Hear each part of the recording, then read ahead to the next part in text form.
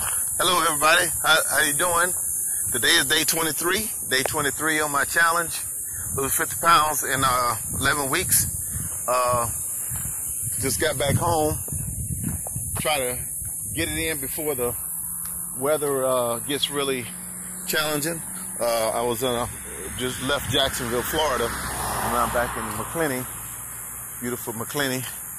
It's like don't even like it's gonna rain here, but it's raining up something down in Jacksonville. That's Jacksonville's way. So, whoo, it's hot here. It's only 30, probably 40 miles away from my job in Jacksonville. But anyway, I'm on my walk. I'm on walk. I'm out here, want to get it on in, get it in, get it in.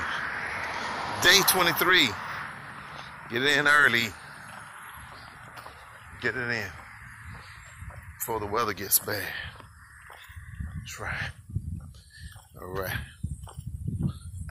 So y'all take care and have a nice day.